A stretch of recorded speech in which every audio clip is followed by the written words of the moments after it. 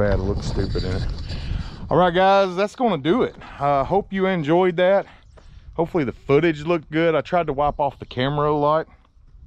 We'll see how it turned out. So anyway, uh, if you like these types of videos, don't forget to like, comment, subscribe. I'm Danny. I will see you in the next one. The channel's called Lanier.